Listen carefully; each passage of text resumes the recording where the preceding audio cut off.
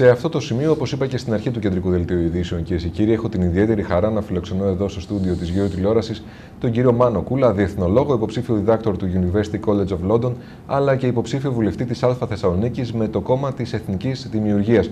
Κύριε Κούλα, ευχαριστώ πολύ που αποδεχτήκατε την πρόσκληση και είστε και σήμερα στη Γεωργία Τηλεόραση. Κύριε Φερές, ευχαριστώ πάρα πολύ για την πρόσκληση και χαίρομαι που είμαι μαζί σας και με τους τηλεθεατές σας.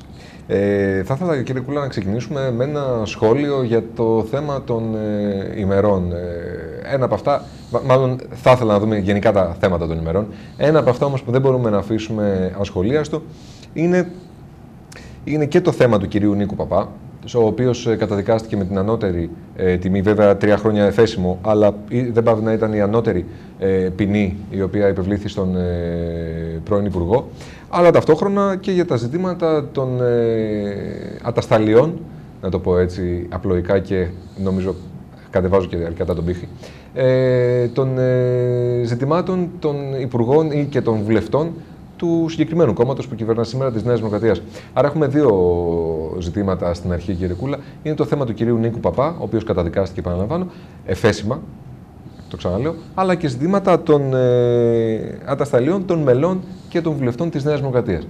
Δώστε μου λίγο το σχόλιο σας.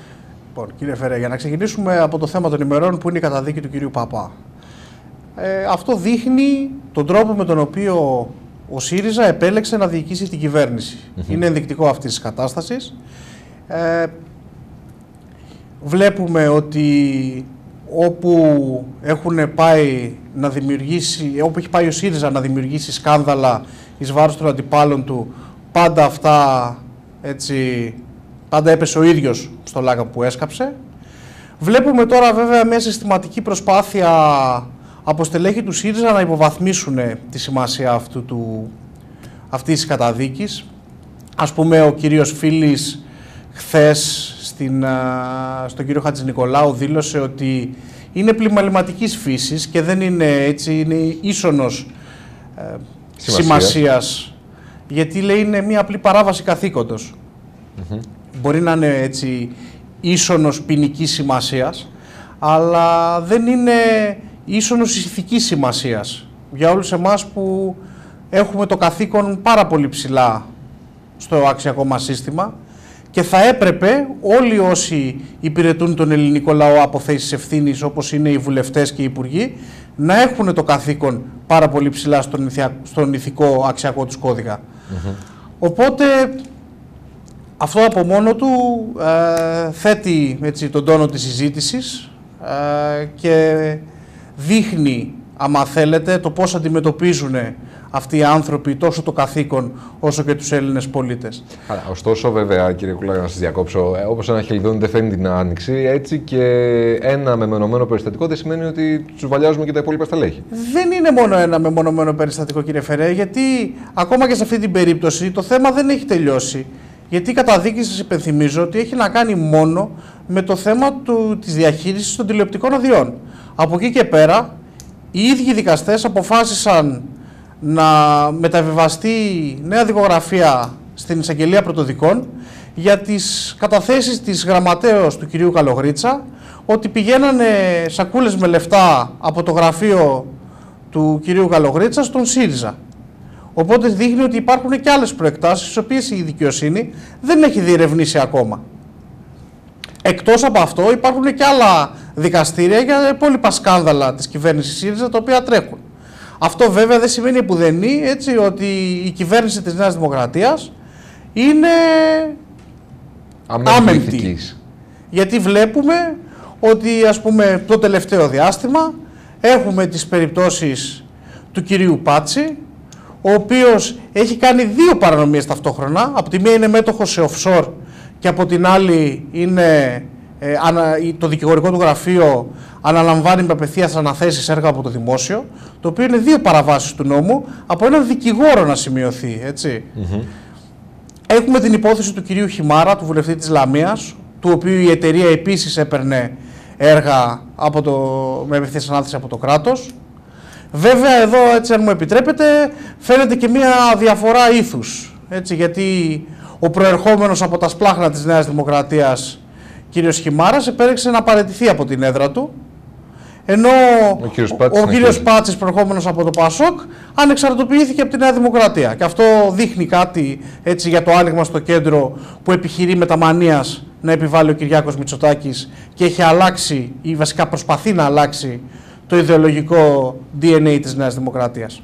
Άρα, μιλάμε τώρα, κύριε Κούλα, επειδή αν θυμηθούμε ακόμα και το βρώμικο 89 με τα Pampers και τα πώς πήγαιναν ερχόντουσαν τα χρήματα και πάμε ακόμα και στο σήμερα, όπως περιγράφει η γραμματέας του κ. Καλογρίτσα, του κουβολούσαν χρήματα, αλλά και το Πασόκ, όταν επίσης ε, στέλεχος του, του Πασόκ ε, είχε παραδεχτεί ότι εγώ ο ίδιος μετέφερα τις ε, τσάντες με, τα, με τα χρήματα, μην τα ξεχνάμε αυτά.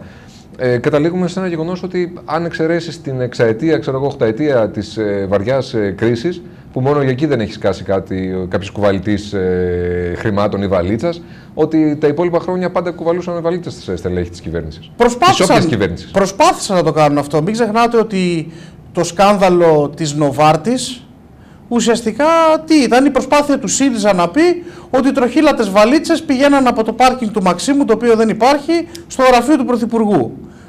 Εγώ δεν θα σας πω ότι αν έγινε ή δεν έγινε, μπορεί και να έγινε, μπορεί και να μην έγινε. Ήταν υποχρέωση, έτσι, από τη στιγμή που ο ΣΥΡΙΖΑ έφερε αυτή την καταγγελία, ήταν υποχρεωμένος να το τεκμηριώσει. Και αυτό το οποίο φάνηκε είναι ότι δεν μπόρεσε να τεκμηριώσει καμία καταγγελία. Και γι' αυτό τώρα οι υπόδικοι βρίσκονται οι ίδιοι άνθρωποι του ΣΥΡΙΖΑ ε, για αυτή την υπόθεση. Ε, να πάμε λίγο στο θέμα της οικονομίας, κύριε Κούλα, και θέλω να μου σχολιάσετε, μιας και τις προηγούμενες μέρες ξεκίνησε ε, το. Παλιά το λέγαμε το καλάθι της νοικοκυράς. Ε, τώρα για λόγους πολιτικής ορθότητας έγινε το καλάθι του νοικοκυριού. Ε, και πλέον ε, λόγω των ημερών έγινε το καλάθι της Σαρακοστής. Πάμε να δούμε τώρα αυτό λίγο, κύριε Κούλα, και να μου πείτε καταρχάς, Έχουμε και το καλάθι της Σαρακοστής, αλλά και το Market Pass, το οποίο το τελευταίο διάστημα, μόλις ε, τις λίγες πρώτες μέρες, λίγες ώρες, αν δεν, δεν ξεπερνά πολλές ε, ώρες, που έχει ξεκινήσει ήδη ε, σωρία ε, πολιτών συμπολιτών μας τρέχουν να κάνουν αίτηση για να πάρουν έστω αυτό και το εικοσάρικο, το οποίο τους ε, αναλογεί, αν και εφόσον βέβαια δεν είσαι φιλοξενούμενος στο σπίτι και, και, και που έχει μια τεράστια ε, γκάμα από απορριπτικά. Τι συμβαίνει, κύριε Κουλά, στην οικονομία; Θεωρείτε καταρχάς ότι το καλάθι της Σαρακοστή του νοικοκυριού ε, βοηθάει επί της ουσίας ε, το νοικοκυριό; Και επίσης το Market Pass είναι ένα μέτρο το οποίο θα βοηθήσει επί της ουσίας ε, το, το νοικοκυριό, συνυπολογιζόμενοι ότι η Νέα Δημοκρατία κατηγορούσε το ΣΥΡΙΖΑ για ε, επιδοματική πολιτική. Είναι γεγονός ότι ο Κυριάκος Μητσοτάκης ζει τη σοσιαλιστική του ουτοπία. Ε, έχει βαφτίσει τα κουπόνια Pass και έχει αρχίσει. Έχει μοιράσει COVID Pass, έχει μοιράσει Fuel Pass, τώρα μοιράζει Market Pass.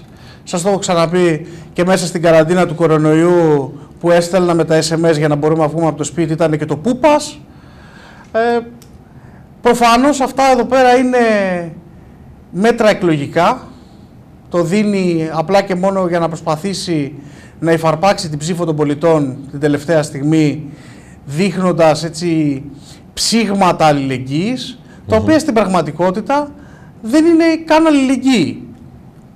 Γιατί η κυβέρνηση αυτή τη στιγμή ενεργεί σαν ένας ρομπέν των δασών, χρησιμοποιεί φόρους, έμεσους και άμεσους, προκειμένου να τα παίρνει από όλους μας και μετά να τα αναδιανέμει κατά πώς η ίδια επιδιώκει, εξυπηρετώντας πάντοτε μικροκομματικές σκοπιμότητες σε αυτούς που επιλέγει η ίδια. Αυτό το έκανε και ο ΣΥΡΙΖΑ ακριβώς πριν από τη Νέα Δημοκρατία. Πολλοί κόσμος έτσι πιστέψαμε ότι με την έλευση του Κυριάκου Μητσοτάκη αυτά θα αλλάζανε, αλλά δυστυχώς συνεχίζουμε έτσι, ο Κυριάκος Μητσοτάκης επέλεξε την εύκολη οδό της επιδοματικής πολιτικής από την οδό της αρετής, το οποίο θα σήμαινε ριζικές τομές και αναδιάρθρωσης της ελληνικής οικονομίας. Η Εθνική Δημιουργία, κύριε Κούλα, τι προτείνει; Η Εθνική Δημιουργία προτείνει μείωση των έμεσων και των άμεσων φόρων και αυτό με τη σειρά του θα δώσει την απαραίτητη επανεκκίνηση στην οικονομία που χρειάζεται. Θα αυξηθεί η καταναλωτική δύναμη του καταναλωτή και θα μπορέσει έτσι να κινηθεί η οικονομία και με αυτόν τον τρόπο θα γεμίσουν μάλιστα και τα κρατικά ταμεία σε επίπεδο υψηλότερο από ό,τι γίνεται τώρα. Γιατί η κατάσταση η οποία επικρατεί τώρα οδηγεί με μαθηματική ακρίβεια στην ισχυρή ύπαρξη της μαύρης οικονομίας. Αυτό που λέει η Εθνική Δημιουργία είναι ότι δίνοντας κίνητρα σε όλους και να ζητάνε αποδείξεις αλλά και να έχουν κίνητρο να κόψουν την απόδειξη θα οδηγήσει έτσι, στην πάταξη της μαύρης οικονομίας και στην ένταξη, αν θέλετε, αυτού του, του κεφαλαίου που κινείται εκτός α, της πραγματικής οικονομίας μέσα, στα, μέσα στην πραγματική οικονομία. Κατανοητό. Ε, να δούμε λίγο για κάποια ζητήματα, κύριε Κουλά, τα οποία ε, δεν μας κάνουν καθόλου περήφανος. Είναι το ζήτημα της, ε, του τζόγου στην, ε, στην Ελλάδα, του ηλεκτρονικού τζόγου. Αν κάνετε zapping στα περισσότερα τηλεοπτικά κανάλια, στη διάρκεια των διαφημίσεων, θα δείτε ότι ενώ παλιά διαφημίζαμε, ξέρω εγώ, απορριπαντικά, ε, ε, ξηραφάκια για το ξύσμα, πλέον δεν τα χρειαζόμαστε κιόλας. Ε, και άλλες επιχειρήσεις, ε, είτε τράπεζες, είτε ξέρω εγώ, εταιρείες παροχής αερίου ή ενέργειας. Ε, πλέον βλέπουμε ότι όλο και περισσότερο και σε μεγάλο αριθμό έχουν ανοίξει στοιχηματικές εταιρείες και εταιρείες οι οποίες παρέχουν υπηρεσίες τζόγου, φυσικά τα οποία φορολογείται και είναι νόμιμα στην Ελλάδα, ε, να παίζουν αυτό το, το ρόλο. Και υπάρχουν κάποια νούμερα τα οποία ε, εμφανίστηκαν, τα οποία δεν είναι καθόλου ε. ενθαρρυντικά για την πραγματική οικονομία. Θα σα τα πω, κύριε Παρακαλώ. Ε... Και ποια είναι η θέση σας και ποια είναι η, η άποψή σας αναφορικά με αυτό; Κοιτάξτε, το ζήτημα του τζόγου στην Ελλάδα ε, είναι εξής απλή. Πέρα από τον εθισμό, είναι η πεποίθηση που έχει έτσι περάσει στον Έλληνα ότι μπορεί να σπάσει τα ταξικά δεσμά που τον κρατάνε μόνο άμα του κάτσει τον τζόκερ. Αν σου κάτσει, σου αλλάζει τη ζωή. Γιατί, γιατί δεν υπάρχουν οι συνθήκες κοινωνικής κινητικότητας, οι οποίες πηγάζουν από την ορθή λειτουργία της οικονομίας, προκειμένου να μπορέσει έτσι ένας νέος να δουλέψει σκληρά και σιγά σιγά να χτίσει την περιουσία του και να μπορέσει να ανελιχθεί κοινωνικά. Δηλαδή θεωρείτε ότι, είναι, θεωρείτε ότι είναι ένα κοινωνικό φαινόμενο Θεωρώ αυτό; ότι είναι κοινωνικό φαινόμενο και φαίνεται από τα νούμερα κύριε Φερέ. Ας πω ενδεικτικά. Παρακαλώ. Το ΑΕΠ της χώρας μας είναι περίπου 311 δισεκατομμύρια ευρώ. Οι Έλληνες το 2022, έτσι 11 εκατομμύρια Έλληνες, τζογάρανε 29,2 δισεκατομμύρια ευρώ. Το οποίο σημαίνει ότι περίπου το 10% του ΑΕΠ το τζογάρανε οι Έλληνες. Σε αντιπαραβολή θα σας φέρω τα στοιχεία από το Ηνωμένο Βασίλειο, όπου 67 εκατομμύρια άνθρωποι, δηλαδή 6 φορές ο πληθυσμός, με 3,1 εκατομμύρια ευρώ ΑΕΠ, δηλαδή 10 φορές μεγαλύτερη οικονομία, το ποσοστό του τζόγου ήταν μόλις 16 δις. Δηλαδή ο μισός τζόγος Δηλαδή το μισό ποσό από ό,τι παίξαμε εμείς με το 1 δέκατο της οικονομίας και το 1 έκτο των κατοίκων. Αυτό δείχνει ότι όταν υπάρχει μια οικονομία η οποία δουλεύει, η οποία δείχνει μοχλούς κινητικής, έτσι, κοινωνικής κινητικότητας στους πολίτες, το ποσοστό του τζόγου παίζει, ε, πέφτει. Επίσης, ε, τζόγος και από τζόγο διαφέρει. Γιατί αυτό που είναι σημαντικό έτσι, να ξεχωρίσουμε είναι ότι και ένα πολύ μεγάλο ποσοστό των εσόδων του τζόγου στην, στον Ηνωμένο Βασίλειο προέρχεται από αυτούς που παίζουν το εβδομαδιαίο Στην Ελλάδα ε, αυτό το μεγαλύτερο ποσοστό των παιχτών είναι στοιχηματικές σε αγώνες με πολύ μεγαλύτερα ποσά. Οπότε και τα ποιοτικά χαρακτηριστικά του τζόγου δείχνουν τη διαφορά. Βγήκε δε και μια τελευταία μελέτη η οποία λέει ότι στους έτσι, σχεδόν δύο μήνες του 2023 οι Έλληνες έχουν παίξει 1,4 δις σε παράνομες ε, στοιχηματικές, σε παράνομα καζίνο ε, και δίνουν μια, ένα σωρό λόγους ότι έχουν καλύτερα μπόνους, ότι δεν φορολογούνται τα έσοδα, ότι υπάρχει ανωνυμία. Αυτό δείχνει αφενός μια μεταστροφή, άμα θέλετε, στο συλλογικό DNA και μία πεποίθηση ότι μόνο, άμα, μόνο μέσα από τον τζόγο, έτσι, μόνο με την τύχη μπορείς να προχωρήσεις σε, σε, αυτό, σε αυτή τη χώρα. Άρα ότι η φτώχεια δεν είναι το τροχπέδι του, του, του, τζόγου ουσιαστικά μου λέτε. Ναι, η, η φτώχεια ακριβώς λειτουργεί σαν καταλήτης στην αύξηση του, του τζόγου. Γιατί άμα σου περισσεύουν 2 ευρώ, δεν μπορείς να τα επενδύσεις. Μπορείς όμως να παίξεις ένα τζόκερ και να πεις: Αν μου κάτσει, θα μου αλλάξει τη ζωή. Κατανοητό. Ε, τι θα μπορούσε να γίνει γι' αυτό, κύριε Κουλά; Δηλαδή, εφόσον μιλάμε για κοινωνικό φαινόμενο και πραγματικά ε, όσο το εξηγούσατε, αυτό σκεφτόμουν ότι έχετε δίκιο στην ε, κοινωνική κινητικότητα. Ότι δηλαδή αυτό που ακριβώς αναφέρεται ότι ένας νέος ο οποίος. Ε, Μήπως έχει αλλάξει συνολικά η λογική. Δηλαδή, ότι θέλουμε να κάνουμε γρήγορα πράγματα ε, αύριο. Και το, ο τζόγος είναι κάτι το οποίο μας δίνει αυτή την ε, ελπίδα. Το θέλουμε να κάνουμε γρήγορα πράγματα αύριο είναι ακριβώς απότοκο της έλλειψης μηχανισμών του κάνουμε πράγματα και με τη σκληρή δουλειά. Γιατί όταν το παράδειγμα σήμερα είναι ότι μπορεί 40 χρόνια να δουλεύεις πάρα πολύ σκληρά και παρόλα αυτά να μην μπορείς να έχεις κοινωνική κινητικότητα, γιατί οι συνθήκες είναι τέτοιες, με την υψηλή φορολογία και με την παραοικονομία και με την έλλειψη ευκαιριών και με την έλλειψη κινήτρων και με τον, έτσι, την ασφικτική θηλιά του κρατισμού γύρω από το λαιμό σου να μην μπορείς να έχεις κοινωνική κινητικότητα, σημαίνει ότι αυτό το μοντέλο Οπότε η εναλλακτική πια είναι τζόγος και γρήγορα λεφτά. Ενδεχομένως έγκλημα. Γι' αυτό η τραπ μουσική πουλάει τόσο πολύ στους νέους.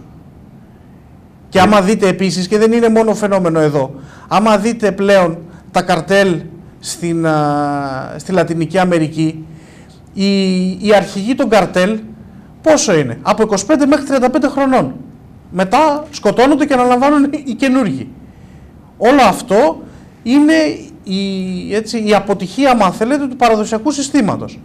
Όσες οικονομίες δουλεύουν κανονικά, δίνουν ευκαιρίες μέσα έτσι, από την κανονική οικονομία, μέσα από την πραγματική οικονομία, να ανελιχθεί κάποιος με τη σκληρή δουλειά του και με τις ικανότητές του, έτσι, γιατί χρειάζεται να έχεις και τα δύο. Και να δουλεύεις και να έχεις ικανότητες και φυσικά να έχεις και λίγη τύχη. Ε, επιβραβεύονται και, επιβραβεύονται και καταλήγουν να, να κάνουν κάτι. Μην ξεχνάμε το, το παράδοξο ότι τώρα ο κ. Ε, Μητσοτάκης ε, συνειδητοποίησε αυτό το πρόβλημα και καταλαβαίνει γιατί λόγω μιας μελέτης που έγινε που είμαστε σε πάρα πάρα πολύ χαμηλή θέση στο ότι οι άνθρωποι της ηλικίας μας μέχρι και 33-35 χρονών ε, δεν μπορούν να πάρουν ένα σπίτι, δεν μπορούν να πάνε να αγοράσουν σπίτι. Ενώ παλιότερα θυμόμαστε ότι οι παππούδες μας ή οι πατεράδες μας, όταν ήταν σε αυτή την ηλικία, είχαν ήδη οικογένεια και παιδιά και ταυτόχρονα ε, είχαν βάλει και ένα κεραμίδι πάνω από το κεφάλι τους που λέγανε ε, οι παλιοί. Και ειδικά στη χώρα μας, η οποία η πατρίδα μας, αν μη τι άλλο, έχει αυτή τη λογική ότι θέλουμε να ζούμε στο σπίτι το οποίο είναι δικό μας. Κάτι το οποίο έρχονται και οι τράπεζες πλέον και τα funds με τον τρόπο ο οποίος έχει έρθει στη ζωή μας αυτή η πραγματικότητα και βλέπουμε ότι καταλήγει να, ε, να, να, να φεύγει από τη ζωή μας και αυτό. Δηλαδή δεν θα έχουμε πλέον αυτό το κεραμίδι. Κύριε γιατί θα μας το παίρνουν. Είναι γεγονός ότι είναι ακριβό το να είσαι φτωχός. Ε, γιατί ας πούμε, υπήρχε μια μελέτη για τους ε, εργάτες στα ανθρακοριχεία και έλεγε ότι όσοι προέρχονταν από πιο εύπορες οικογένειες και μπορούσαν να διαθέσουν 100 λίρες για να αγοράσουν καλές μπότες, θα είχαν αυτές τις μπότες για τα 30 χρόνια που δουλεύανε και δεν θα χρειαζόταν να τις αλλάξουν ποτέ, γιατί ήταν πάρα πολύ της καλής ποιότητας. Όσοι δεν είχαν τη δυνατότητα να δώσουν τις 100 λίρες μπροστά και αγοράζανε τις φθηνές μπότες των 15 λιρών, χρειαζόταν κάθε δύο χρόνια να αλλάζουν μπότες. Οπότε στο σύνολο των 30 ετών είχαν εξοδέψει πολλά από αυτόν ο οποίος είχε τη δυνατότητα να τα δώσει μπροστά. Το ίδιο βλέπουμε και ακριβώς αυτό που λέτε το κεραμίδι πάνω από το κεφάλι μας και το ενίκιο. Γιατί η τράπεζα σου λέει ότι α, πληρώνεις 500 ευρώ ενίκιο αλλά δεν ε, αναγνωρίζω την ικανότητά σου να πληρώνεις 350 ευρώ δόση δανείου. Το οποίο δεν είναι μόνο έτσι, ε, φαινόμενο ελληνικό, είναι έτσι ευρύτερα ευρωπαϊκό. Και όλα αυτά γυρνάνε ακριβώς στα ίδια πράγματα, ότι η οικονομία δεν δουλεύει όπως θα έπρεπε να δουλεύει, το επιχειρήν δεν μπορεί να επιχειρήσει όσο θα έπρεπε να επιχειρήσει, γιατί το κράτος έχει το μακρύ του χέρι μέσα στις τσέπες όλων και επιχειρηματιών και εργαζομένων και όλων και εισοδηματιών και επενδυτών και παντών. Και με αυτόν τον τρόπο φροντίζει αφενός να συντηρεί έτσι, δομές κρατικές οι οποίες είναι αναποτελεσματικές, αλλά έχουν να προσδοκούν τα ωφέλη στην κάλπη. Εμείς αυτό που λέμε είναι ότι αν η οικονομία δουλέψει όπως πρέπει και το κράτος επιτελεί το ρόλο που πρέπει να επιτελεί και δεν ξεφεύγει από αυτά που θα έπρεπε να κάνει, η κατάσταση θα ήταν γενικότερα καλύτερη για όλους. Ε, ξέρετε, την προηγούμενη Πέμπτη είχα την τύχη να, έχω, να, συνο, να συνομιλώ στην ίδια καρέκλα που κάθεστε εσείς με τον κύριο Δημήτρη Μάρδα. Ε, του ΣΥΡΙΖΑ, ε, οικονομολόγος όμως, ε, ακαδημαϊκός, το ΑΠΙΘΙΤΑ ε, καθηγητής ε, οικονομικών και μιλούσαμε για την ε, μελέτη Πισαρίδη και ακριβώς για αυτά τα ζητήματα. Ότι ξέρετε ότι αναγνωρίζεται πλέον και από τον Πισαρίδη αλλά και από τις ε, μελέτες που κάνει και το ΑΠΙΘΙΤΑ το γεγονός ότι τα χρήματα τα οποία έρχονται αυτή τη στιγμή σαν ε, στήριξη από την Ευρωπαϊκή Ένωση αντί να πάνε στη βελτίωση της παραγωγής, στη μεταποίηση, στη βιοτεχνία, στη βιομηχανία και σε αυτούς τους τομείς στους οποίους πονάμε, αλλά οι οποίοι είναι και σταθεροί ταυτόχρονα ε, στα χρόνια και έχει αποδειχθεί η σταθερότητά τους. Δηλαδή ακόμη και στο COVID λίγο έπεσε η δουλειά, αλλά μετά ε, ανέβηκε πάλι και πάλι γύρισε η ζήτηση. Τα ρίχνουμε πάλι στον τουρισμό, όπου ο τουρισμός, όπως έχουμε πει και άλλες φορές, είναι ένας ε, γίγαντας με γέλινα πόδια. Άρα ε, θα έπρεπε λίγο να δούμε συνολικά το μοντέλο, τώρα αυτό στη γενικότερη οικονομική κουβέντα που κάνουμε, θα, θα έπρεπε μήπως να το δούμε λίγο συλλογικά και συνολικά όλο αυτό το οικοδόμημα της οικονομίας στη χώρα μας και να ξεφύγουμε τόσο από το μοντέλο του τουρισμού και να δούμε και, την, ε, και τον πρωτογενή, πρωτογενή τομέα και το δευτερογενή. Γιατί στον τριτογενή, στην υπηρεσία, καλά τα πάμε. Πρέπει να δούμε όμως το πρώτο και το δεύτερο. Μα εγώ θα διαφωνήσω ότι και στον τρίτο γενικά να τα πάμε, γιατί η παρεχόμενη υπηρεσία από παρεχόμενη υπηρεσία διαφέρει. Συμφωνούμε. Προ-κρίσης, η Ελλάδα παρήχε έτσι, άμα θέλετε, τραπεζικές υπηρεσίες σε όλη τη χερσόνησο του έμπου, σε όλη την Ανατολική Ευρώπη. Μετά κρίση, αυτά τα κερδοφόρα παραρτήματα των ελληνικών τραπεζών εξαγοράστηκαν κοψοχρονιάς από ευρωπαϊκές τράπεζες. Το οποίο σημαίνει ότι και οι υπηρεσίες που παρέχουμε πλέον είναι πολύ περιορισμένες. Εντάξει, η υπηρεσία είναι και ο τουρισμός βέβαια, στον οποίο Φυσικά, είναι όχι. η ατμομηχανή της χώρας. Είναι η ατμομηχανή της χώρας και παρόλα αυτά, παρότι σε απόλυτα νούμερα ο τουρισμός χώρας ανεβαίνει, το ποσοστό της ευρύτερης τουριστικής πίτας στη γειτονιά μας, σε σχέση με αυτούς που πάνε Κροατία ή Τουρκία, πέφτει. Και αυτό είναι επίσης κάτι το οποίο πρέπει να μας απασχολήσει. Το οποίο πάλι έχει να κάνει έτσι, αφενός με τη λειτουργία της οικονομίας και αφετέρου η λειτουργία της οικονομίας επηρεάζει, αν θέλετε, και τη συμπεριφορά του επιχειρηματία και τον προειδεάζει και τον αναγκάζει να κάνει πράγματα που έχουν έτσι κακό αντίκτυπο, αν θέλετε, στον τουρισμό. Από εκεί και πέρα συμφωνώ 100% μαζί σας ότι η χώρα θα έπρεπε να επενδύσει και στον πρωτογενή τομέα και κυρίως στην επαναβιομηχανοποίηση της χώρας. Βιομηχανική παραγωγή θα έπρεπε να είναι έτσι, ο οδηγός, θα έπρεπε να δίνονται κίνητρα και με αυτόν τον τρόπο έτσι, δημιουργούνται mm. θέσεις εργασίας, δημιουργείται πραγματικός πλούτος, δημιουργούνται έτσι, εξαγωγές οι οποίες συμβάλλουν θετικά στο ισοζύγιο έρχεται κεφάλαιο απ' έξω και με αυτόν τον τρόπο σιγά σιγά μπορούμε έτσι, να ανακτήσουμε, άμα θέλετε, την πρώτερη θέση στον κόσμο. Τους άλλους για μένα η δικιά μου πάγια θέση είναι ότι η Ελλάδα, η Θεσσαλονίκη δεν πρέπει να κοιτάει προς τον νότο για την οικονομική της ανάπτυξη. Πρέπει να κοιτάει προς το βορρά, πρέπει να κοιτάει στα Βαλκάνια. Πρέπει να ανακτήσει το ρόλο που είχε προκρίσεις, πρέπει να αναδειχθεί σε μια μεγάλη Μητρόπολη των Βαλκανίων, σε ένα κέντρο οικονομικών και πολιτικών αποφάσεων και πάνω σε αυτά, έτσι, αν μας θυμίσει ο ελληνικός λαός και αν με τιμήσει προσωπικά ο λαός της Θεσσαλονίκης, πάνω σε αυτά θα δουλέψω. Κύριε Κούλα, θέλω να σας ευχαριστήσω πάρα πολύ που ήσταν και σήμερα μαζί μας. Νομίζω ότι όλα όσα είπαμε, ειδικά το τελευταίο κομμάτι για ε, την οικονομία, ε, το απόλαυσα και πραγματικά είχε τη δική του σημασία. Ευχαριστώ και πάλι. Σας ευχαριστώ πάρα πολύ και εγώ. Να είστε καλά.